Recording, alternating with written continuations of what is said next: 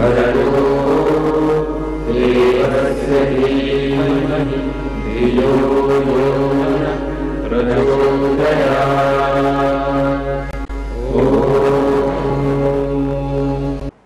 के कार्यक्रम के सभी दर्शकों को एच एस रावत का प्यार वाला नमस्कार। दर्शकों, हम आपको जानकारी दे रहे हैं, ज्योतिष ज्ञान की इस पवित्र गंगा में क्या आखिर ज्योतिष किस प्रकार से काम करता है? ज्योतिष अंधविश्वास नहीं है अंधविश्वास लोगों ने बना दिया इसका। जो जानते नहीं है, दो चार क्लासें कहीं से पढ़ ली, किताब रेलवे स्टेशन से खरीद ली, न्यूमरोलॉजिस्ट बन गए, वास्तु एक्सपर्ट बन गए, बोलते किताब में लिखा है। अरे किताब लिखने वाले भी तो हमारे जैसे लोग ही होते हैं, जो एक दूसरे की कॉपी मार देते हैं, जिनकी रिसर्च नहीं होती है। इसलिए दर्शकों ज्योतिष एक पवित्र विज्ञान है इसमें कहीं गुमराह होने की ज़रूरत नहीं है। अगर कोई कमी होती तो मैं विज्ञान को हमेशा चैलेंज करता हूँ न्यूज़ चैनल्स के ऊपर। जब भी मैं बैठता हूँ लाइव के अंदर एक एक चीज़ का ऑथेंटिक जवाब देता हूँ। अभी सूर्य के ऊपर से शुक्र का भ्रमण चल रहा था, और वहाँ पर हल्का हल्का सूर्य ग्रहण चल रहा था। हज़ारों वर्ष पहले, एक साल वर्ष पहले हमारे पंचांग में लिखा था, लेकिन विज्ञान को नहीं पता था। जब मैं लाइव में बैठा था तो मेरे से पूछा गया था कि इसका प्रभाव नहीं है। हमने कहा इसका बहुत सौ फ़ीसदी प्रभाव है।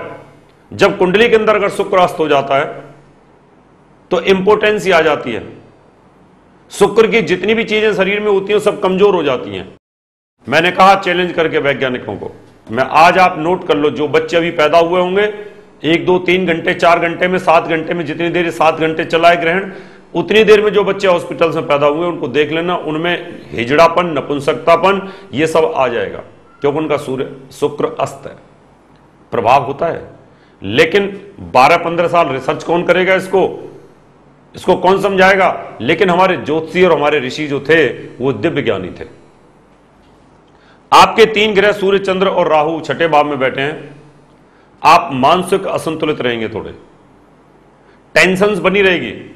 अगर आपको बहुत ज़्यादा डिप्रेशन रहता है हेल्थ खराब रहती है कोल्ड कप की शिकायत आपको रहती है तो आप एक मोती धारण कर सकते हैं। इस नेक के पहनने से आपको लाभ मिलेगा।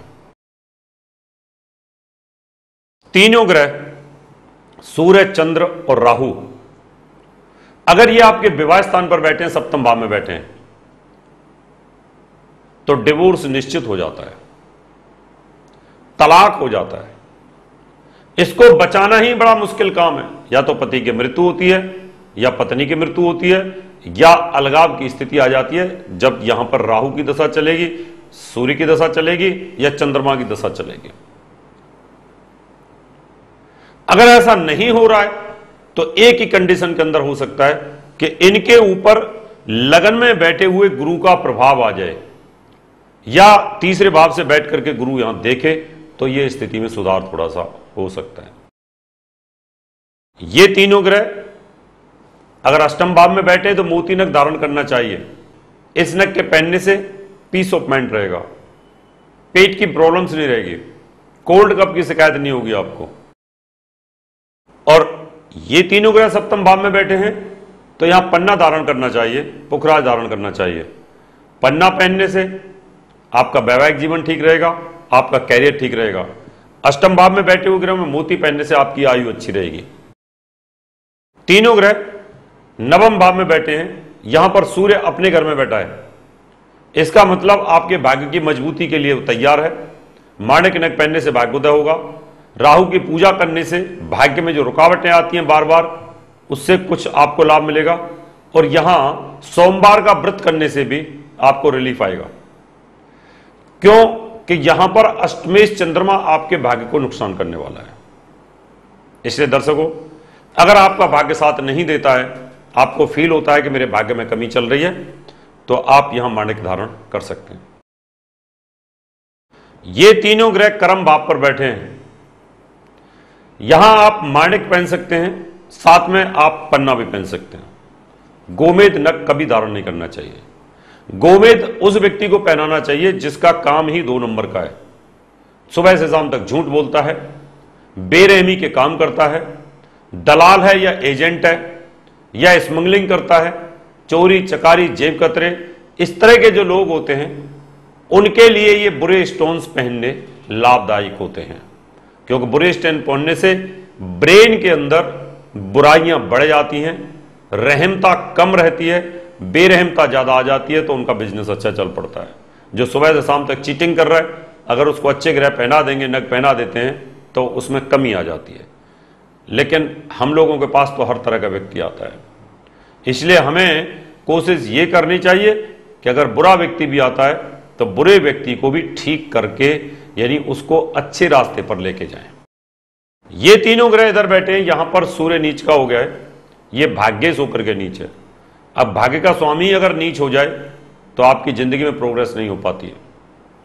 अब यहाँ नीचमंग राजयोग बना हुआ है। अगर शुक्र केंद्र में बैठा है तो कुछ अच्छा हो सकता है मंगल केंद्र में बैठा है। यहाँ पर यह अच्छा फल देगा नहीं। इसलिए लगने इसको मज़बूत करना चाहिए कर्मे इसको मज़बूत कर देना चाहिए। लगन को मज़बूत करने से, यानी पुखराज पहनने से आपको लाभ मिलेगा, क्योंकि लगन में सभी भावों का समन्वय इकट्ठा होता है। और साथ में कर्म के स्वामी को भी, अगर राशि के स्वामी को भी मज़बूत कर देते हैं तो इससे भी आपको लाभ मिलेगा। यहाँ सूर्य की पूजा करनी चाहिए, राहु की भी पूजा करनी चाहिए। सूर्य को जल देना चाहिए अब जल देने से ऐसा तो है नहीं कि सूर्य ठंडा हो जाता है, लेकिन जब जल देते हैं तो पानी से सूर्य की जो किरणें होती हैं, वो फट जाती हैं, और जो सात कलर उसमें से बनते हैं, उसमें से जिस कलर की ज़रूरत होती है, वो कलर हमारी बॉडी के अंदर आ जाता है, और उस समय लाभ मिलना शुरू हो जाता है। ये तीनों ग्रह बारम्बार में बैठे हैं तो आदमी साइकिक हो जाता है कंफ्यूज रहता है बेबरिंग माइंड होता है, मिर्गी के दौरे पड़ते हैं। मन में भय लगता है, छुआछूत की बीमारी आती है, बहमी हो जाता है। उसके दिमाग की और मन की एकाग्रता नहीं रहती है। अब ये ज्योतिष है। यह कोई पाखंड तो है नहीं कि जो लोग टीवी चैनल्स पर पाखंड फैलाते हैं। यह कोई लाल किताब तो है नहीं कि जो चितकबरी कुत्तों को आप रोटी खिलाते रहो, सौ कुत्तों को रोटी खिला दो एक दिन में। सौ कुत्तों को रोटी खिलाना कोई आसान काम है? कुत्तों की पहचान ही नहीं हो सकती। मछलियों को आटा खिलाते रहो। एक पढ़ा लिखा इंसान कुत्तों को दूध पिलाए, कुत्तों को रोटी खिलाता रहे। अरे पागलों की तरह तुम कुत्तों के पीछे घूम रहे हो। यह ज्योतिष नहीं है। ज्योतिष एक वैदिक ज्योतिष होती है। इसलिए ऐसे वाहियात के जो उपाय बताते हैं लोग, उनसे आपको बचने की ज़रूरत होगी। यहाँ ये ग्रह बैठे हैं। इनकी पूजा पाठ कराने से आपको लाभ मिलेगा। दर्शकों, आपकी भी कोई समस्या है? आपके घर में लगातार बीमारी रहती है तो वास्तु दोष हो सकता है। आप वास्तु चेक करवाइए। आप कोई घर का नक्शा बनवा रहे हैं? उसको एक बार चेक करवा लीजिए। आप कोई फ्लैट खरीद रहे हैं? उसको चेक करवा लीजिए। उसमें कोई कमी तो नहीं है? कहीं जाने के बाद आपको प्रॉब्लम फंस जाए। आप कोई नई फैक्ट्री लगा रहे हैं तो उसका नक्शा आप चेक करवाइएगा। लेकिन ऐरे गहरे से नहीं कि कोई भी बोर्ड लगा के बैठा है वास्तु एक्सपर्ट उससे बचाव करना है आपको। अपने बच्चों के भविष्य के बारे में शादी नहीं हो रही है, उसके बारे में जानकारी चाहते हैं तो अपन में लेकर आप हमें मिल सकते हैं। अभी समय आपसे हाथ लेने का। अगले एपिसोड में आपसे मुलाकात करेंगे। तब तक के लिए नमस्कार। प्रिय दर्शकों, आप सबके लिए खुशखबरी।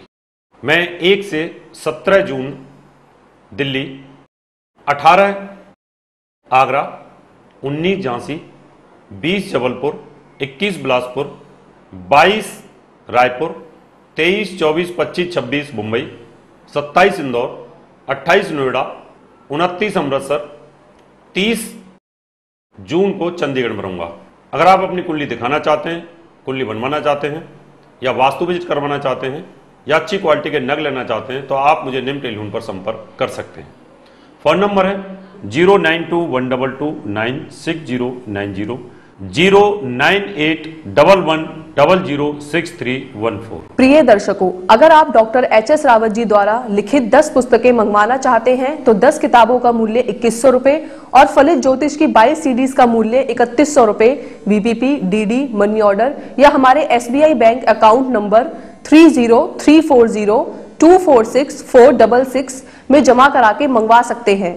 दर्शकों, अगर आप अपनी कुंडली दिखाना चाहते हैं, इकतीस सौ रूपए घर का नक्शा व वास्तु विज़िट या पूजा पाठ करवाना चाहते हैं तो आप हमें निम्न पते पर संपर्क कर सकते हैं। हमारा दिल्ली का पता है, महर्षि पराशर ज्योतिष विद्यालय C nine Mahindra park, Pankha road, Nai Delhi 59 phone number nine two one double two nine six zero nine zero हमारा मुंबई का पता है, महर्षि पराशर ज्योतिष विद्यालय, flat number 201 Anand Vihar, building, Bajaj road, Vile Parle, west, Mumbai 56 phone number zero double two two six seven zero seven nine three zero, mobile number nine eight two zero double one double four two nine.